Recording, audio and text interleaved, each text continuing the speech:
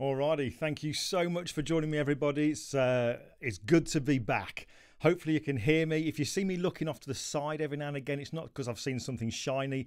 It's because I'm just paranoid about things not working, like mics not being turned on or anything like that. But listen, I've I've really missed doing these. I really, really have. So to see already, you know, so many people joining is just wonderful. I've missed the interaction. Don't get me wrong. I love doing all the weekly YouTubes, and they're going to continue but I want to start throwing these in. And tonight was a bit of a tester because very soon, in just a few weeks, our internet is going to be getting a heck of a lot better. Uh, we're going to be going to almost one gig. So that's going to open up so many possibilities for what I want to do with the live stuff. So how it works tonight, I don't know, but by the sounds of it, it's all coming through nice and nice and clearly. So uh, great to see so much chat going on. There's some people in there that I definitely give a shout out to: Anthony Crothers, Brian Dukes, Tim Oliver as well. Check out his work. There's Deb, Stuart Wood. check out Stuart's stuff. He's got some amazing macro stuff. Loads of people, and my friend Steve Healy as well is there, as many many others. But again, thank you for joining me. But tonight, what I want to do is I don't know how long this is going to take. It doesn't take that long, really. But what I want to do is go through how I recently did this picture. Okay, this is a picture that I took with my iPhone. But the fact that this is talking about something that I took with my iPhone, don't let that put you off because the process. Uh, that I'm kind of going to go through with the retouching is is kind of relevant whether you do it with a mobile device or a mirrorless or a DSLR. The editing is editing. How we capture it is one thing. How we edit it is pretty much the same kind of process. So that's what we're going to go through. So uh, by all means, use the chat for any questions that you've got. Stuart, um, uh, Anthony, and Brian will be keeping an eye on those. And I'm sure at some point, if there's anything that's really kind of like a, a bit of a bit of a ooh kind of comment or question, they'll let me know so we can cover those. Maybe as we go through it, but more than likely at the end as well. Because what I want to do, this video will be staying on the YouTube channel, and I don't want it to be dragging on too long in the main body of it. We can save the comments and stuff for the end of it. But let's just dive into it then. Let me just show you first of all. So I took, I've taken it with my iPhone. Let me show you what I'm using to hold my iPhone first of all. So you know, wonders of technology. Let me just grab my iPhone here and there you go, we go live. So yeah, just to show this is live. There's me talking now. right, so this here is the kit that I'm using. I've tried so many different holders to hold my uh, iPhone, and this is the best one that I've found so far. It's made by, as you can see, it's Ulanzi. It is all metal, so it's really solid. And it's got a very, uh, there's a um, Arca Swiss clamp kind of base to it, so it can drop onto your tripod but the actual swivel head here that holds it is all metal and this black kind of dial at the end here will lock it into place and then the red dial here will lock the clamps in place so your phone is nice and sturdy. Now ordinarily when you're kind of taking these uh, you know pictures with your iPhones if you're doing landscape and the weather's nice you don't need to worry too much about it being ridiculously sturdy but a lot of the times that I take pictures I want them to be dramatic so it's going to be a lot of wind and some of the stuff that I've used before although it might look sturdy, when you look at the phone as you're taking the picture, you can just see a little bit of movement, and obviously we don't want that. That one there, really, really cool.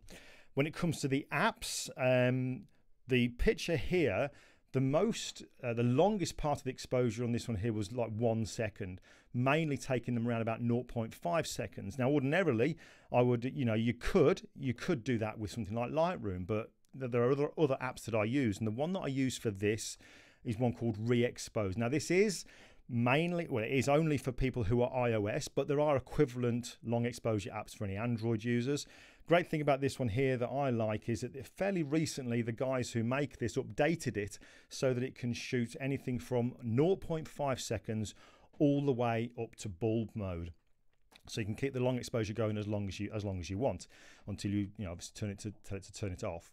Now when I'm taking these kind of pictures here, it is a very, very dramatic scene when you're there. I love stormy weather. I really, really love it. Um, but I always found that when you take a single picture, it never captures the whole feeling, the emotion, the drama. So what I like to do is I take many, many pictures. I make sure that the actual phone or, or the mirrorless, if I'm using a camera for it, main camera, is locked in position. I focus on one particular area. With that app, I can just literally tap on an area midway into the picture then that's kind of locked the focus. And I'll just keep taking pictures every time I see a new wave move and the sea moves in a different way or some spray comes over. I'll keep taking a number of pictures. So what I end up with at the end of it is something like this here. As you can see in my Lightroom, if I just open these up, these here are generally all the kind of pictures that I took for this one single final image. So you can see here, every single one of them, there's something slightly different. You know, be it where the waves are coming over the Cobb at the back there, or the actual way the, the water's coming up onto the beachfront. Every single one of them's different. And what I tend to do then is I will then get them into Lightroom Mobile so that I can then create an album, and that album then syncs with my Lightroom Classic on my computer, and then I'll mask them in. So the way that I do that is this. I then go to Lightroom Mobile. Once I've taken the pictures, the re-exposed pictures, they go into the camera roll on your iPhone. So I go to Lightroom Mobile, go to the albums, and I create a new album. I then call that whatever, and you'll notice as I type this out, I think I called it Lyme Regis Storm, you'll notice occasionally the OK button is greyed out, and that's because I've already got an album called that. So we'll keep on typing out until I can get a good a nice blue OK button. So Lyme Regis Storm, C, click OK, or tap OK rather. That album is then appearing in the list as you can see just there. And if I want to add pictures from Lightroom, from my camera onto that, I can click on the icons in the bottom right, or from the album view, just tap on the three icons, the ellipsis, choose add photos from device, then that'll open up the camera roll and I can then just go through them, select the ones that I want to bring in, and then at the bottom where it says add just use the add button and then that will bring them all back in then into Lightroom uh, into Lightroom mobile. That then syncs. That's the wonder of all this kind of um, technology the way that the kind of all kind of talks to each other. Those are then that then creates an album in Lightroom classic. It then syncs and all those pictures eventually then appear so that when I'm at home nice and comfortable I can then get on with the editing. So just going back into my Lightroom here then. Let's have a dive into here. You can see these are all the pictures. Now, I'm not going to go through an edit of all of these images here. What I've done is I've kind of narrowed it down. So I'll do a slightly varied version of the picture, but at least you see the process. That's the main, the main thing about this. And actually, while I'm going through this, I've got a list of things here that I want to kind of go through. I've been rehearsing, you know, practice, practice. These are the steps I want to go through so I can make sure I show them all to you. But if I don't show it, just somebody remember to tell me to do halo. Just remember halo. That's really, really important. All right, so let's dive in then. Let's have a quick look at the editing to see what kind of process that I went through. Now, these images here, these are the, these are the one, two, three, four, five, six that I've chosen that I'm going to edit. And you'll notice now, as I just move through each of them, they look pretty sturdy, uh, steady rather. They look as if there's not much movement, even though it was really, really windy, but you can see a little bit of movement on that one. So that'll need to be sorted out in a minute. But I really like this image here because of the way that the, um, the way that the, the, the sort of the water's coming up onto the beachfront. I really quite like that. So I think I'm going to use this one here as my base image, which I'll then do some editing steps on and then sync that across all the other images before we then send them over into Photoshop. All right, so let's have a look then. First things we'll do, I'll go to the develop module and the first thing that kind of jumps out to me that I need to work on is the sky. Okay, there is no kind of set pattern or routine routine things that you must follow when you're doing this, generally I start to work on the thing that jumps out at me first of all. So what I will do is this, I'm going to first of all go to the masking section, which is just incredible these days, it really is. And I'll click on sky. That'll then make a select, uh, selection of the sky. If I just show, show overlay, you can see here now the red overlay, that's telling me now that the sky's been selected. There are some areas that I don't want to select, so we'll just go to subtract, I'll use a brush, and then very quickly, let's just remove it off some of these bottom areas down here very, very quickly. Obviously, what I'm going to be going through with you this evening is a fast forwarded version of what I would normally do when I'm sat here with a nice uh, cup of tea as I'm doing on my editing. So we'll go to something like that. Let's turn that off there. And all I'm going to do with this one here is I'm just going to go to uh, let's have a look here. Well, I've got effects and we'll go to dehaze. And I'll just dehaze this a little bit, which I absolutely love. But you do have to be careful with dehaze because if you use it too much, it starts to bring in quite a lot of saturation. So for now, I think I'm going to go to around about 35-ish, something like that. We will do more on the sky later, but for now, that's probably going to be enough. Let's come out of masking and I'll just go through just some nice, simple, basic edits in here at the minute, just to bring out some detail. So let's just take down the highlights a touch, bring them down to there. I'll increase the shadows. Actually, what, while we're here, let me just try something. I'm gonna I'm gonna zoom in. Okay, there's a keyboard shortcut I've got on Mac for zooming in. Let me know if it works because it's very difficult. When I when I do it on here, both of my screens are actually zooming towards me, the actual stuff on there. So let me know in the comments when I do this zooming in, if it kind of does zoom in for you and it works. So let me just try it now. I'm going to put my cursor over where the basics adjustments are and I'm going to zoom in. Okay, and then I'll zoom back out again. So let me know in the comments whether or not that worked. I've never known if that works or if I'm saying I'll zoom in and people just kind of let, let it go because I don't really. Anyway, I'll carry, I'll carry it. I'll keep an eye out on the comments to see if it does say that. And if it does, then I can continue doing it. But let's just bring up some detail in the shadows. And then we'll go to bring the whites. I've got the whites there. Yeah, keep those at 15-ish, something like that. Okay, Paul Roberts, Sean Bourne, brilliant. Okay, that's fantastic. I didn't know whether or not it did, so thank you for letting me know. I won't bother doing that again. So obviously that's the only kind of downer, if you like, about doing this ordinarily with a with a pre-record. I'd zoom in and zoom out and red arrows and stuff, but you know, we, we, we're live. We have to sacrifice something, I guess. All right, so just carrying on then with this uh, editing here, just a few little uh, adjustments I want to make. I'll increase the clarity a little bit and let's have a look at it. Let's just press the backslash key. You can go before and after there just to see already just a few minor adjustments and you can see already we're starting to get some stuff coming in. All right, so now then, let's just quickly straighten this up. So we'll go to the crop tool there. Now you could press on the auto, but what I tend to find with this is when there are other kind of straight areas within the image, it can kind of be a bit of hit or miss whether or not it does straighten it correctly.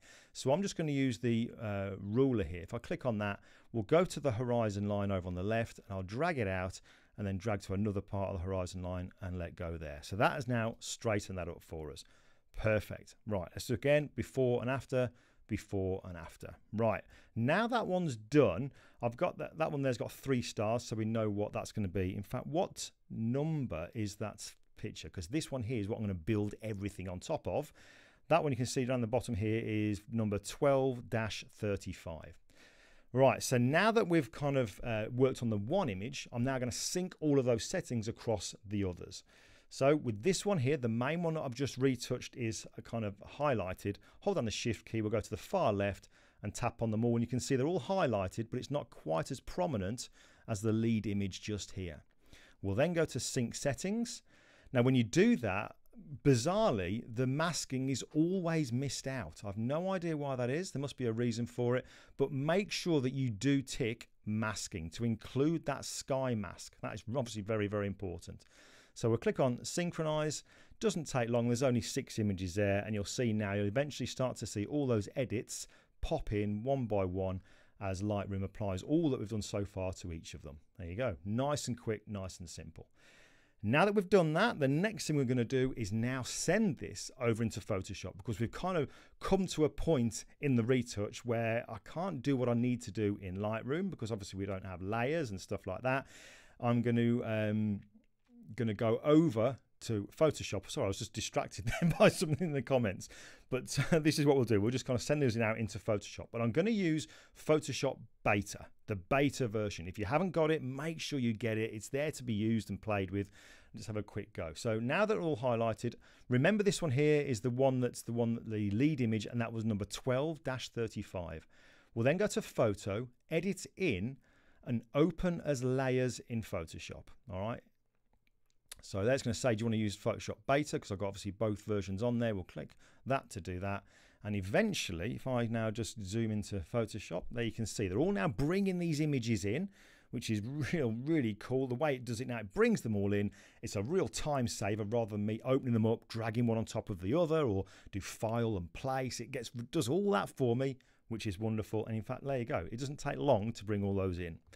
So let's have a look. Let's have a look at what we've got. If I just turn off all of the layers except for the very bottom one and then just move through. And now you'll start to see as I go through, it's really obvious if there's any movement in those shots. And you can see there is, there's a little bit of movement, not so much in these top three, but if I go to here, then here you can see it kind of skips around a bit. So obviously now we need to um, line these all, these images up. Now, incidentally, do you remember I mentioned about the, the image that I first of all worked on? The base image was number 12-35.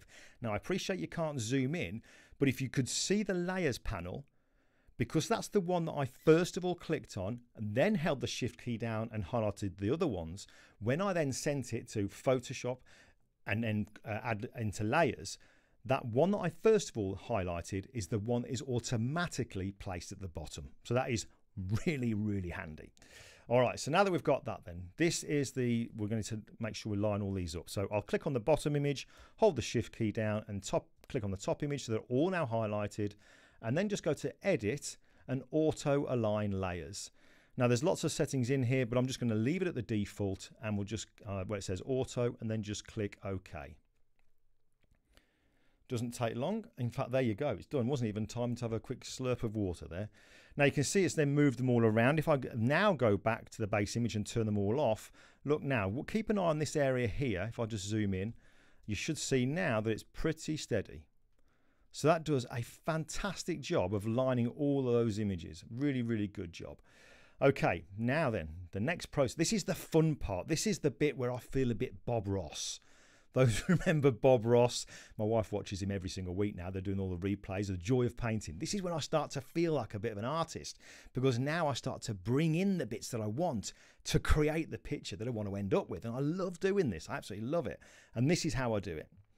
First of all, let's just crop out the bits that we don't need. So I'll zoom in. We'll get the crop tool. I'm going to drag over to that bit just there so we can get rid of that transparent area. The bit at the bottom needs to come up as well. Bit over on the left and bring the top down as well to around about there. And there you go. So there we go. There's our start image. So what I will do now is I will start to go through each of these layers and bring in the bits that I want from each. And I can just take my time doing this. I don't need to rush. I'll just, there just might be some really little small thing on one layer that I think I'll add that, and then the next one I'll add that, and so on and so on. So let's have a look. Let's have a look at this first layer just here. Uh, what could we grab off this one? Well, I might want to have this little bit right down the end where this wave is crashing over. I quite like this bit down here as well, but I might save that just for a second. What on this one here? Oh, yeah. Oh, yeah, I'm liking that. All right, okay. I think what I'm going to do with this one is bring in these two where the waves are really crashing over. So what I'll do, let me just, first of all, I'm going to get this base image and right click on it and I'm going to label it green. So I know for definite, if it, just in case something moves, I know that is my base image.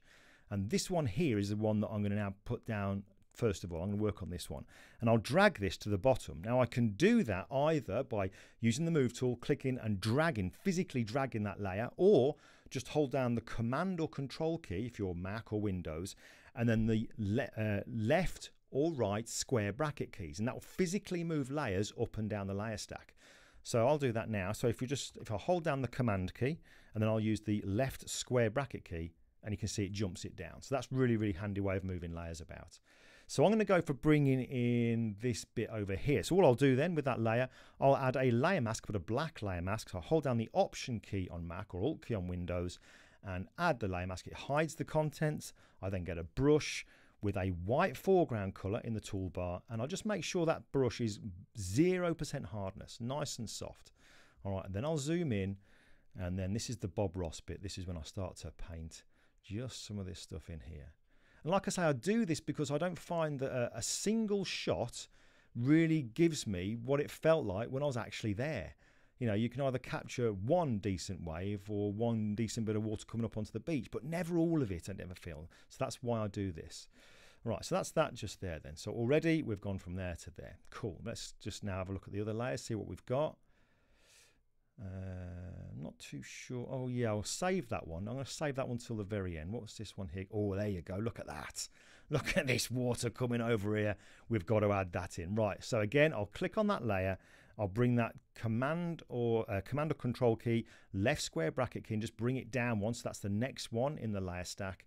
And I'm definitely going to bring in this bit here. So I'll hold down the Option Alt key, add a black layer mask, and then carefully just brush that in.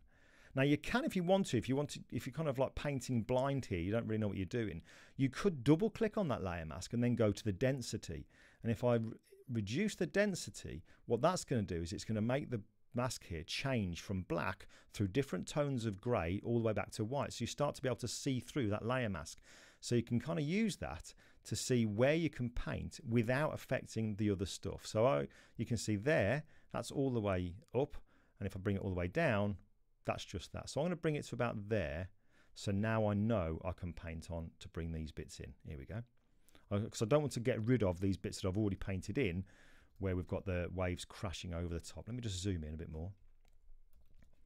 Again, like I said, this is working at warp speed just so I don't keep you folks waiting. But it gives you the idea of the process that I go through when I'm actually creating these kind of pictures. And this is coming from somebody who isn't really a landscape or seascape photographer. It's just, you know, this is something that I've started doing ever since COVID. Um, but I just love getting out with the phone.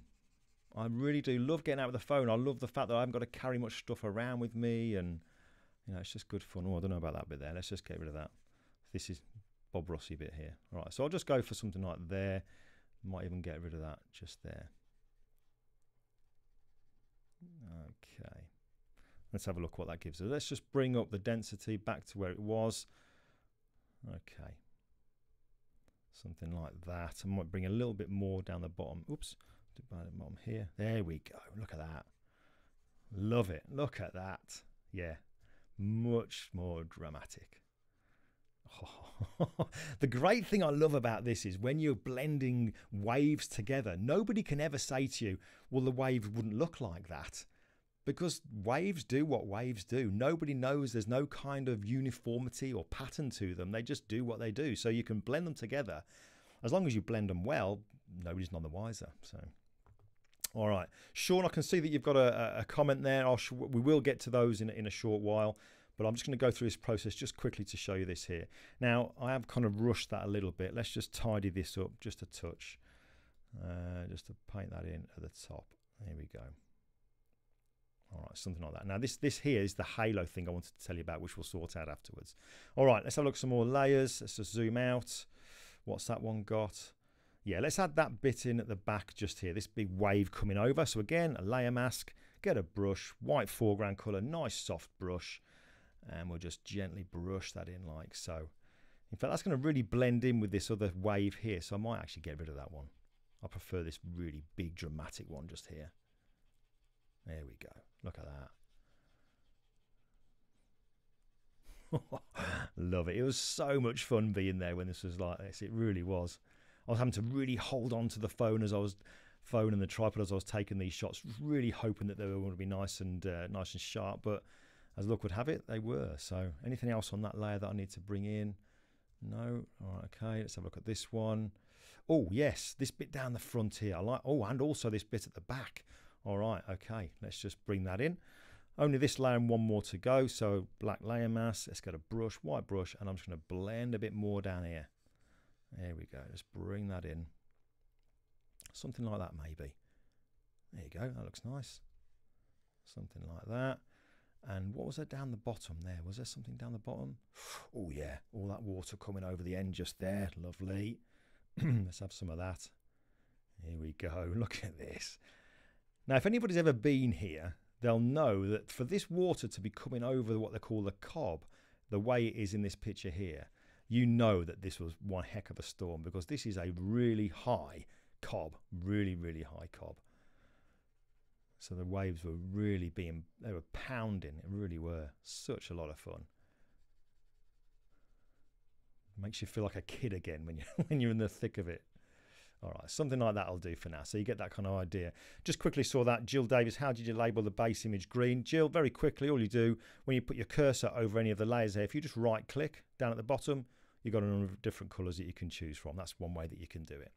All right, so let's have a look. Last layer, and we're going to move on. So Anything on? Oh yeah, this bit here. There we go. Yeah, got to have all this water coming off here. So we'll add another black layer mask, get a brush, and then just finish off by bringing in all that drama on this bit as well. Look at that. I love this. And this is all kind of like half a second exposure, one second in some parts, but mainly half a second. But it really does create a lot of drama. In fact, I don't want to get rid of too much of that on there. Something like that will be fine. All right. Okay, let's have a look. Let's just zoom out to here for a second. I appreciate we don't need to see much of the sky there, do we? Just so that you folks can see it. If I turn off that base, everything except the base layer, very quickly you can see how you can go from, you know, what was still quite, you know, dramatic to then bring in all those other elements that you remember when you were there. So it makes it uh, so it makes it one picture containing all the drama. That's how I see it. There might be purists out there that wouldn't agree with me, but I couldn't care. I really couldn't care. This is what I want to create. So, right, now that we've done that, let's have a look at my uh, little sheet that I need to make sure that we're doing. Right, so we've done the masking. The next thing I want to do, now this is why I'm using the, the beta version of Photoshop, because there's something in here that I want to remove that ordinarily could be quite a challenge. But you'll see now, he says, hoping it'll work, how amazing this is at getting removed now using generative fill AI in Photoshop beta. All right, so let me just show you this. Uh, I want to get rid of this here these bollards because people are no longer allowed on the Cobb because there's quite a serious uh, cut or uh, slice that's appeared in it through storm damage.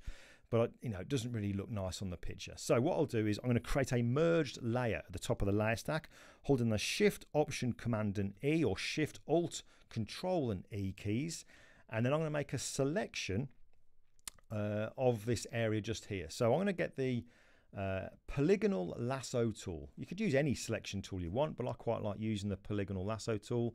It's like using an elastic band as it goes around it. So I'm just going to go around this area here, not nice and tight up onto it. I'll leave a little bit of a gap around it because when you're using generative fill, you do want to leave just a little bit of breathing space so that it knows what the surrounding areas are that you want it to kind of blend it all into. So we'll go, we'll include the bollards, the poles, and also that danger sign just there as well and just coming close go right across that bit go across this bit down down up there and then almost to the end let's have a look so just there so now we've got our selection we've got the generative fill um, taskbar just down here. I'll click on generative fill. I'm not going to put any text prompts in whatsoever. I'm just going to click on generate. Now, your guess is as good as mine what's going to happen now because every time you use this, it'll give you a slightly different result. So, fingers crossed, it gives us something worthwhile. So, it only takes roughly 15 seconds. This isn't dependent on how powerful your computer is because it just goes up to the cloud and then comes back down again. And, Tim, I totally agree with you. Uh, yes, it really is mad science, completely mad science. But if we just look over now, then in Photoshop Beta, let's have a look here you can see it's added something odd in there. Uh, that's a pretty good job. These are really decaying steps anyway, so that's done a really, really good job. But let's just try it again. Let's just click on generate. We've got no, you know, nothing to worry about with time here. It takes about 15 seconds, like I say. It'll throw back another three variations just to see what that's going to give us to make it maybe look even better. Who knows? But uh, I don't know what's doing on the wall there. But let's have a look. That that's looking pretty good. Don't like that one. Do you know what I actually think I like? I'm going to go with that one there, maybe. Something like that. It looks okay, all right? That looks okay for me. Again, it's just to show you the kind of stuff that we can do nowadays with this here. So that's that.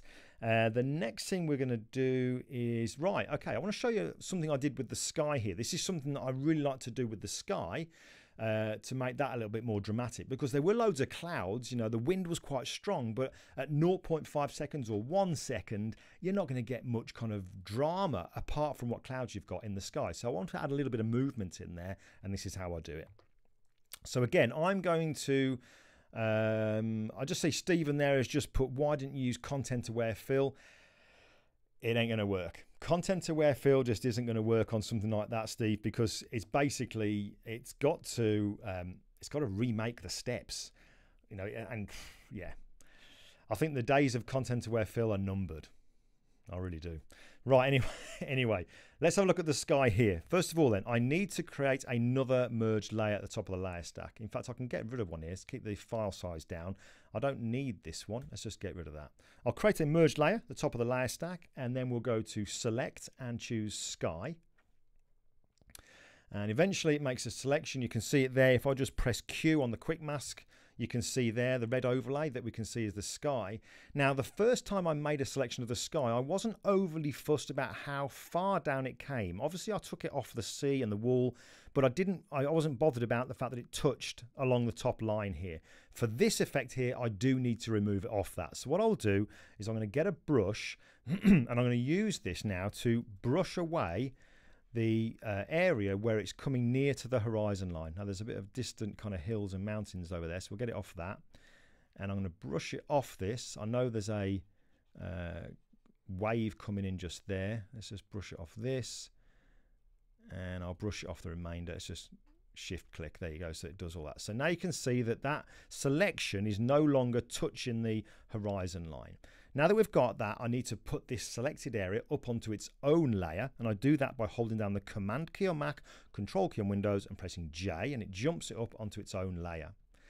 Then what I'm going to do is go to Filter and choose Convert for Smart Filters. Now, the reason I'm doing this is because you can be tempted sometimes to use too much when you're using a filter, too high a setting. And if you haven't used a um, smart object, you're stuffed, you've got to redo some work. With this, it allows you the flexibility to dive back in to change settings to fine tune it to how you want it to be. So now that we've got that, I'll go to filter and we'll choose blur. And we're going to go to this one here, radial blur.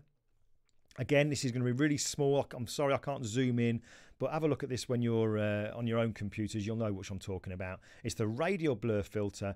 I'm going to put it into best setting, and by default, it's set to zoom. And you can see here when I use the amount, you can see it's kind of zooming in. Now, ordinarily, it would be like this because I've just not long been using it when I was practicing for this evening. It would be like this. So you can see that as I do the zoom, that kind of zooming there is kind of coming into the middle from all the all around this square. All of it is zooming right into the middle. And I don't want that. I want it to zoom as if it's coming from the horizon line. So it's going over the top of me. So what I can do here is in the middle of this dialog box just here, I can click in the middle where we've got the crosshair and drag it downwards right to the very bottom. So now can you see, hopefully, how this is uh, zooming from the bottom upwards. Okay, and that's exactly what we want. I'm only going to use a small amount here. We'll go for around about sort of five or six, something like that. Uh, let's go for six and we'll click OK. And there we go. So now look, it's very, very subtle, but if I just zoom in on the sky, this is before, after, before and after. So there's just a little bit of movement in that sky, which is what we want. Right, last thing we'll do in Photoshop before we go back to finish off in Lightroom is this is personal choice, but something I like to do. It's almost like a bit of a signature thing for me. When I've been taking uh, pictures with my phone in a storm, invariably, invariably by the coast, you get all the gulls flying around. I'll then just put it into the normal iPhone camera and I'll snap away to get loads of different pictures of the gulls just to keep them for future use. So this is what I do with those. Let me just now go to File and Open. I'll go to my desktop, I've got a YouTube folder and here. Here's a uh, picture that I took just quickly of the gulls all flying around, being blown around in the uh, in the wind there. So what I will do is make a selection. I like these three just down here. Let me get the lasso tool. I'll use the regular lasso tool and I'll make a selection around these ones just here. Okay, then I'll copy that. I'll um, jump that onto its own layer, Command or Control and J. I'll get my move tool and then drag that. You can see now I'm moving it, put that over into my main picture just here. Let's zoom in. I'll get my transform and resize it. Let's just get it nice and small. So they're distant birds being blown around in the in the storm just there. That's fine. Uh, okay, now we need to kind of get rid of all the darker sky around these. So I'm not going to make a selection. I'm just going to go to the layer that contains the birds, double click on it to bring up the layer style dialog box. And in the middle here, we have the blend sliders, current and underlying. We're going to use the current layer, which is the layer which these birds are on. We've got the darks on the left and the lights on the right. I want to make the lightest parts of this layer here, because the dark parts is the birds, I want to make the lightest parts disappear. So I'm going to click on the far right and slowly drag it over. And look, as I move that, look what happens to the sky around those gulls. Eventually, just disappears. Now you can, if you want to, hold down the Option or Alt key and split this little marker in two. But you have to be careful. If you soften it too much when you separate the two points, you start to bring back some of the original sky. So I don't need to worry about doing that too much with this one. We'll go for something like that and then click OK. I always like to just add a little bit of blur to these. So 0.5 on the, let's go 0.5 on the radius there and then I'll just lower the opacity to maybe something like 70. So it blends them into the sky just a little bit. Let's just zoom out. All right. So that is now what we've got. We need to go into Lightroom just very quickly to finish off. But look, just by doing a little bit of masking, a few little things with uh, generative fill, which, you know, if you weren't doing this live and chatting away, you'd just be able to do that.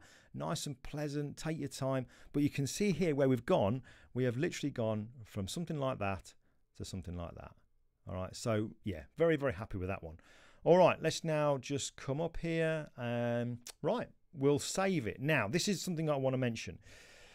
When we first of all bring images in using Lightroom Mobile, we then come into Lightroom Classic. They're in a folder, an album, which is still synced with Lightroom Mobile. Okay.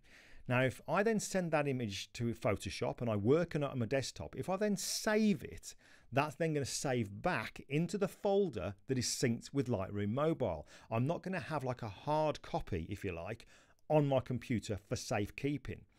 So this is only personal choice, but this is something that I Oh, Halo. Yes, we're nearly there. Dave, you're a legend. Thank you. Remind me again now in a minute. So, what I tend to do is this I will now save the file rather than just going command control to save it, I will physically save it on my computer, my, my hard drive on my desktop, rather than leaving it up in the cloud. All right, so let me show you. So now what I'll do then, I will go to File, Save As, and I'll navigate to the folder where I keep all of my uh, Lightroom images. So you can see all my folder structure here, 2023. I've got a folder for 2023 called Lyme Regis because I've been down there quite a bit. And I'll just give this a name. Let's have a look here. We'll call this one just something nice and simple. I'll call it YTL for YouTube Live. Keep it as a TIFF, embed the profile just there, and then click on Save. I won't compress it, and we'll just click OK. So bottom left, you can see that zipped along to say it's saved. So now if I dive back over into Lightroom and I go to my normal folders now, not the ones that are synced with the cloud, but up here where my 2023 folder is and my Lyme Regis, now here, this is the one. This is the one that's highlighted, is the one we've just worked on. And I guess, I know you can't see it because we're about to zoom in. At the bottom bit down here, ytl.tiff. So this is the one that we worked on. All right, we're nearly at the point of Halo. I've just seen that Anthony's reminded me as well, and Brian, thank you very much. All right, so uh, okay, editing this, finishing this one off.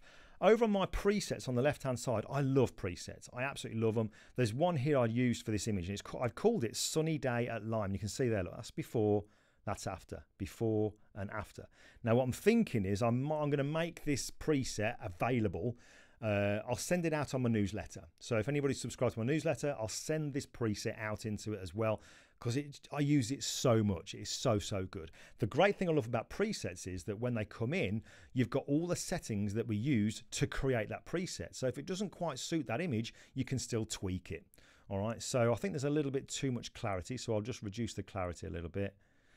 And let's have a look. Actually, apart from that highlight, I might bring down the whites just up in the sky, maybe in a little bit. We'll have a think. We'll have a think.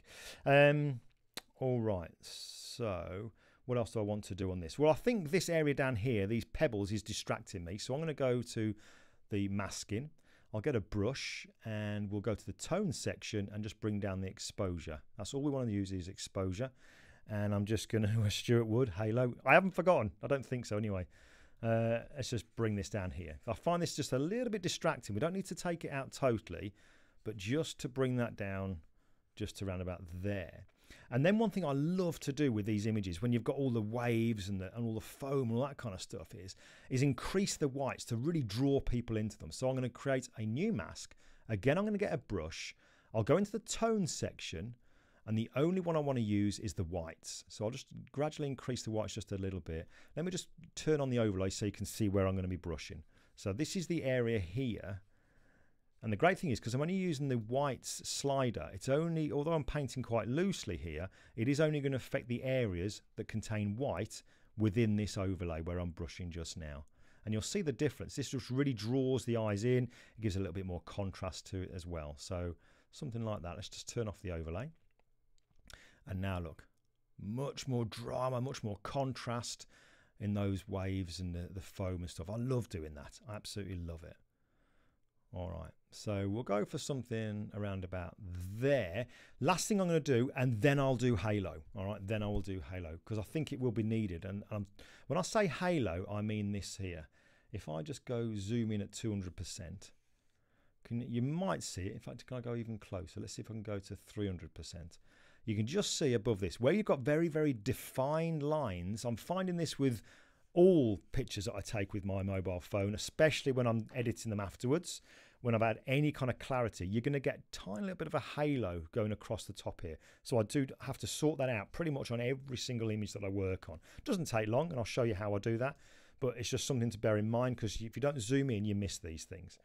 Let me just uh, crop this. I am going to do this as a one by one. Sometimes I might leave this until the very, very end, but this kind of is the end, but I still want to show you the um, the halo bit. So I'll crop it to around about, say, there. Looks good. I like this drama in the bottom here. Dry, yeah, I like that. Yeah, cool. I might just have, let's just add one more mask actually before I go over to Photoshop to sort the halo out.